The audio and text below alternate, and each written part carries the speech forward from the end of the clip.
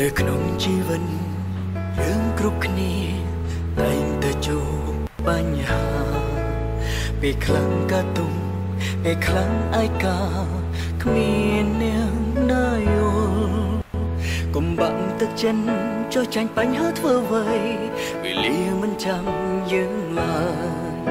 ប្រជ័យថ្ងៃនេះជោគជ័យថ្ងៃក្រោយត្រូវចាប់ផ្ដើមជាថ្មីក្រោក ឈរឡើងក្រោកចេញពីភពងងឹនពេលជីវិតនាងពោពេញដោយបញ្ហាបាទសូមគោរពនឹងជម្រាបសួរពុកម៉ែបងប្អូនទស្សនិកជនជាទីគោរពបាទនៅក្នុងថ្ងៃនេះជួបជាមួយខ្ញុំបាទ Mr. IC បាទជាខ្ញុំសំណូមអារម្មណ៍ពុកម៉ែបងប្អូនមកជួបនឹងរឿងរ៉ាវបាទតេតិនទៅនឹងតារាចម្រៀងដ៏ល្បីប្រចាំផលិតកម្ម Sunday បាទគឺលោកនីកូបាទនីកូចង់ធ្វើជាតារាចម្រៀងឯករាជ្យមួយ បាទដែលគាត់មិនចង់នៅច្រកនៅក្រោមផលិតកម្មណាមួយនោះឡើយ បាទក្រោយពីបញ្ចប់កិច្ចសន្យាជាមួយនឹងផលិតកម្ម Sunday បាទនៅដើមបាទដើមមកបាទដើមខែនេះបាទអឺមានការនិយាយផងដែរថាតារាចម្រៀងរូបសង្ហានីកូអាចនឹងហក់ចូលផលិតកម្មជាមួយនឹងបងប្រុសបាទលោកនប់បញ្ញរិទ្ធបាទគឺផលិតកម្មរស្មីហងមាស បាទប៉ុន្តែយ៉ាងណាមានការបង្ហាញប្រាប់ផងដែរថាបាទនីកូមិនចង់មានបាទមិនមានកម្រងចូលផលិតកម្មណាទេបាទលោកចង់ធ្វើជាតារាចម្រៀងឯករាជ្យដោយសារតែលោកមិនចង់ច្រៀងបទចម្លងពីគេ បាទដូច្នេះហើយលោកចង់ធ្វើជាតារាចម្រៀងឯករាជ្យមានន័យថាការនិពន្ធការច្រៀងបាទគឺរោលដោយខ្លួនឯងតែម្ដង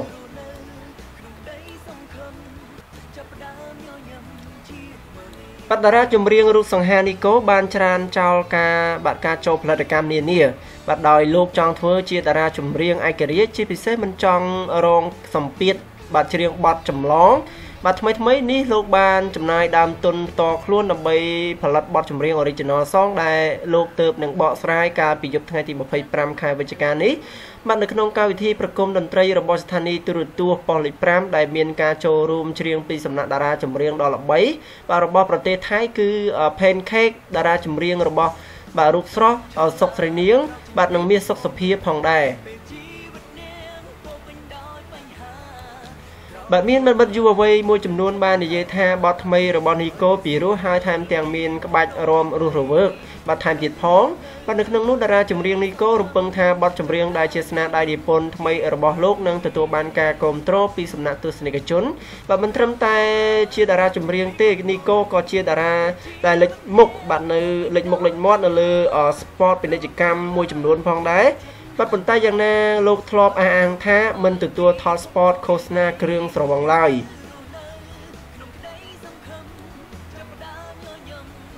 បាទនេះគឺជាគោលចំហរបស់លោកនីកូដែលគាត់បានប្រកាសខ្លួនថាចង់ក្លាយជាអ្នកចម្រៀងឯករាជ្យ បាទដោយការនិពន្ធបទចម្រៀងដោយខ្លួនឯងបាទហើយលោកមិនចង់នៅក្រោមសម្ពាធរបស់ផលិតកម្មណាដែលគេតែងតែមិនតែងនិពន្ធបទចម្រៀងថ្មីទេបាទមិនតែងនិពន្ធបទចម្រៀងថ្មីឡើយគេតែងតែយកបទចម្រៀងបរទេសយកមកកែជាបារោបាទកែជាសាច់ភ្លេងបន្តិចបន្តួចដើម្បីយកឲ្យតារាចម្រៀងនៅក្នុងផលិតកម្មរបស់ខ្លួនច្រៀងបាទអញ្ចឹងលោកនីកូគាត់មិនចង់ធ្វើដូច្នេះទៀតទេដោយសារតែយើងនៅក្រោមបង្គាប់គេយើងតែតែធ្វើត្រូវតែច្រៀងតាមគេបាទហើយដល់ពេលមានការរិះគន់ពីមហាជនលោកលោកអាប់អោនកិត្តិយសបាទដោយសារតែលោកច្រៀងបទចម្លងពីគេបាទអញ្ចឹងហើយពេលដែលយើងទៅច្រៀងជាមួយនឹងថៃបាទយើងយកបទគេយកមកច្រៀងអញ្ចឹងវាខ្មាស់គេមែនទែនបាទជាតារាចម្រៀងមួយរូបដ៏ល្បីនៅក្នុងប្រទេសកម្ពុជាហើយបែរជាចម្លងបទគេយកមកច្រៀងទៅវិញ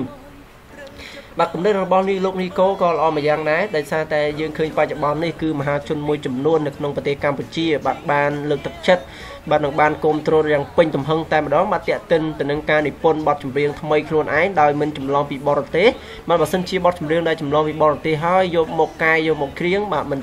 ទោះបីពីរោះយ៉ាងណាក៏ដោយក៏ពុកម៉ែបងប្អូនមហាជនមួយចំនួនមិនមានការពេញចិត្តនិងមិនគ្រប់គ្រងដែរចំពោះបទចម្រៀងដែលយកពីគេ បាទអញ្ចឹងរឿងរ៉ាវមួយនេះយើងខ្ញុំក៏សូមបញ្ចប់ត្រឹមនេះផងដែរអរគុណច្រើនសម្រាប់ការតាមដានរបស់លោកអ្នកតាំងពីដើមរហូតមកដល់ទីបញ្ចប់ បាទសូមអរគុណច្រើនសូមជម្រាបលាអ្នកបារជ័យកុំចាំអីយើងត្រូវតែតស៊ូកុំបាក់